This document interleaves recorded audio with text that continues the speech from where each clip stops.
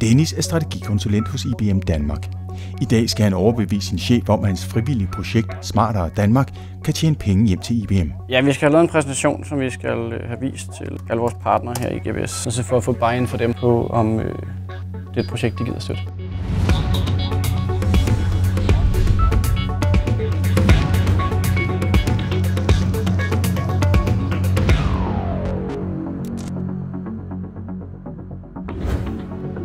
Vi er i gang med at lave et koncept omkring øh, noget, vi kalder Smartere Danmark.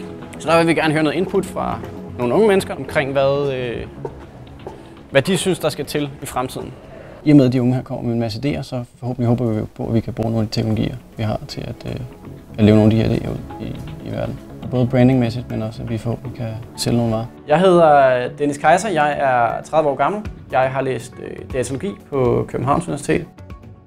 Skal vi se, om man er her, så vi kan høre, om vi kan få smidt et møde i kalenderen. Vi vil gerne præsentere det der Smartere Danmark-koncept. Mit arbejde går ud på at øh, rådgive kunder, både på det tekniske plan, men også på det forretningsmæssige plan. Så der er en høj grad af interaktion med kunder, og, og det svinger meget fra at være meget lidt teknisk til at være utroligt teknisk. Det gør vi. Tak. Nå, så øh, skal vi på det partnermøde der og præsentere det. Det gode ved det her er en arbejdsdag, den forløber ikke på samme måde nogensinde. Så man kan komme ind og tro, man skal eller noget om morgenen, og så finder man ud af 10 minutter senere, at det er noget helt andet, man skal. Så sker der noget.